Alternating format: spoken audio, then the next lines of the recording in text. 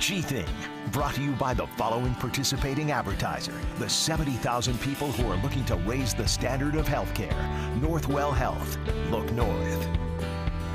These kids may be seven years old, but they're savvy when it comes to Broadway stars.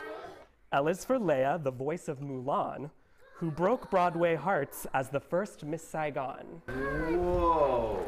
They're listening to a reading of the new book. A is for Audra, Broadway's leading ladies from A to Z.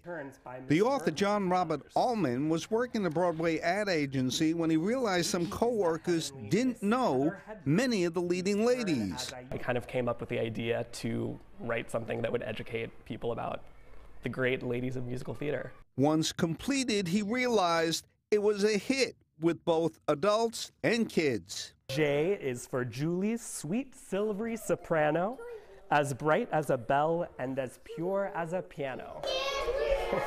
as you can see, the kids who attend the Midtown West School are huge fans of Julie Andrews.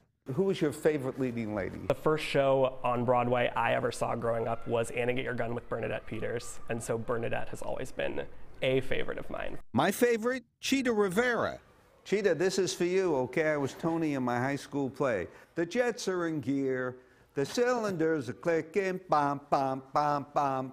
The illustrator of the book, Peter Emmerich, shared his love for what he does and even shared some tips on how to draw one of his characters. Her dress was so sparkly. So if you just keep putting all these little circles in here and little dots and little stars, it'll look sparkly.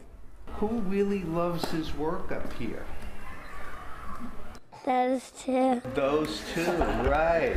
They don't have names. They're called those two.